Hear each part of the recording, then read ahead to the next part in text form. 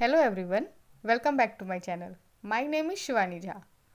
So today I am going to discuss about green roof construction. So this construction also helps to keep your home, home cool.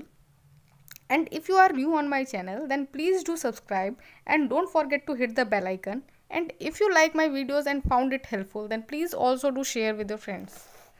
Now start the topic. Mostly cities में आप गए होंगे तो आपने experience किया होगा वहाँ का intensive heat poor air quality inside and outside दोनों ऑफ़ योर हाउस सो अगर आपने ये सारी चीज़ें एक्सपीरियंस की हैं so this topic definitely will solve your all queries कि हम इनको कैसे कम कर सकते हैं?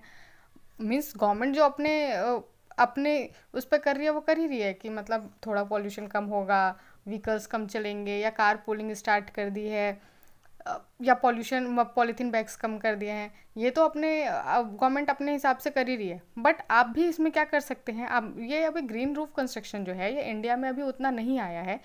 ये बाहर जो कंट्रीज़ हैं वहाँ पे ज़्यादातर यूज़ किए जाते हैं। सो so, क्या होता है green roof what is green roof तो ग्रीन रूफ जो है एक लेयर होता है वेजिटेशन प्लांटेड का over a water proofing system जो कि इंस्टॉल होता है टॉप ऑफ़ ए फ्लैट या स्लाइटली स्लोप्ड रूफ वगैरह पे। ग्रीन रूफ जो है, इनको हम vegetative and eco friendly roofs भी कहते हैं।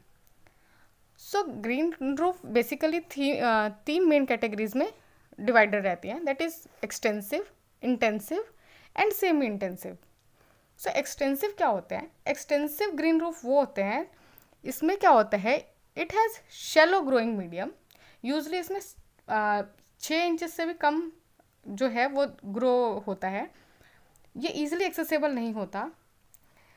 और इसको लिटिल मेंटेनेंस की ज़रूरत होती है। कोई परमानेंट इरिगेशन इसको नहीं चाहिए। कोई परमानेंट इरिगेशन की इसमें ज़रूरत नहीं होती। इसीलिए needs very less amount of water now intensive क्या होते हैं? इंटेंसिव में सॉइल चाहिए मोर सॉइल चाहिए have more soil and growing medium चाहिए। समटाइम या सेवरल फीट्स तक भी हम ग्रो कर सकते हैं। That can support a more diverse section ठीक है? Including small large more diverse section ये सपोर्ट करती है। It needs more frequent water and easily accessible होते हैं ये। एक्सटेंसिव में हमें ज़्यादा वाटर की ज़रूरत नहीं थी नो परमानेंट इरीगेशन बहुत लिटिल मेंटेनेंस चाहिए था, लेकिन इसमें फ्रिक्वेंटली वाटर चाहिए इसीलिए और ये ईजिली एक्सेसिबल होते हैं। जो हमारे एक्सटेंसिव तो ईजिली एक्सेसिबल नहीं थे। Now semi intensive intensive are those they include feature of both types extensive and in uh, in intensive. इन दोनों के फीचर्स सेमी इंटेंसिव में होते हैं।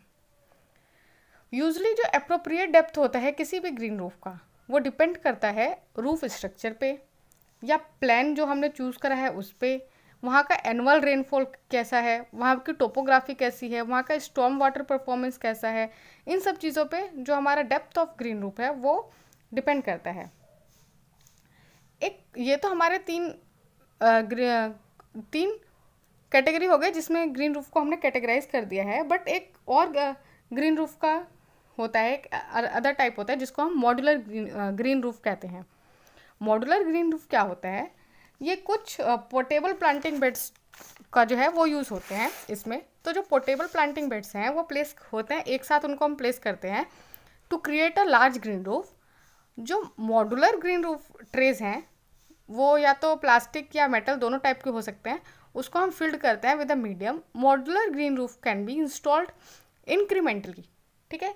एंड इसको हम इजिली रिमोल्ड भी कर सकते हैं फॉर मेंटेनेंस पर्पस और for inspection of the roof layers but इसका ड्रॉबैक क्या है? ड्रॉबैक ऑफ़ ग्रीन रूफ क्या है? कि ये मॉइस्चर जो है, ये can not flow between the units increasing the impact of wet spills on the plants Now, layer of green roofs. All types of roofs requires specific layer and material. ठीक है तो जो बेसिक एटोनॉमी है green roof का, वो है consist of पहले हमारा वेजिटेशन सेकंड में हमारा, उसके नीचे वेजिटेशन के नीचे हमारा ग्रोइंग मीडियम उसके नीचे हमारा फ़िल्टर मेम्ब्रेन होता है, उसके नीचे ड्रेनेज लेयर होता है देन वाटर प्रूफ या रूफ रेपेलेंट रूफिंग मेम्ब्रेन होता है थर्मल इंसुलेशन होता है वेपर कंट्रोल होता है एंड स्ट्रक्चरल रूफ सपोर्ट होता है। Each of this layer perform specific function सबका अपना अपना फ़ंक्शन होता है, सब अपना अपना स्पेसिफिक फ़ंक्शन परफॉर्म करते हैं, ताकि हमारे जो प्लांट्स हैं वो अलाइव रहें and to protect the structure जो हमारा बीनीथ जो रूफ के नीचे जो हमारा स्ट्रक्चर है, वो सारा स्ट्रक्चर जो है हमारा वो प्रोटेक्ट हो सके। तो हर एक लेयर का अपना अपना काम है, वो अपनी अपनी जगह पे अपने स्पेसिफिक फ़ंक्शन परफॉर्म करते हैं। नाउ क्या एडवांटेजेस हैं ग्रीन रूफ के? ये क्या करता है? ड्राइनेज सिस्टम को इम्प्रूव करता है। यह इंक्रीज करता है life span of the roof जो ग्रीन रूफ है, वो बूस्ट करता है thermal performance and these also helps out the environment in many ways it also increases the air quality and इसका डिसएडवांटेज क्या है? These green roofs are expensive होते हैं। In compare to traditional roof जो हम बनाते हैं, वो उनसे ज़्यादा एक्सपेंसिव होते हैं बट ये वर्दवाइल होते हैं in long term use because ये जो है, ये सेव करते हैं एनर्जी एंड हेल्प करते हैं इन्वायरमेंट को in many ways second disadvantage क्या है इसका? जो डेड लोड है ड्यू टू ग्रीन रूफ ये हमारा इंक्रीज हो जाता है स्ट्रक्चर पे. And that's why these requires extra maintenance normal roof से, नॉर्मल रूफ का जितना होगा वो तो उसमें है ही। उसके बाद हम उस पर ग्रीन रूफ इंस्टॉल कर रहे हैं तो हमारा डेड लोड जो है रूफ पे वो इंक्रीज हो जाएगा। दैट्स वाई इसमें एक्स्ट्रा मेंटेनेंस की ज़रूरत है। ज़रूरत पड़ती है।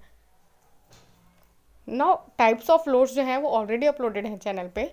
आपको उसका लिंक्स डिस्क्रिप्शन बॉक्स में मिल जाएगा। प्लीज़ वहाँ से चेकआउट कर लीजिएगा। I hope you like this video please do like subscribe and share this channel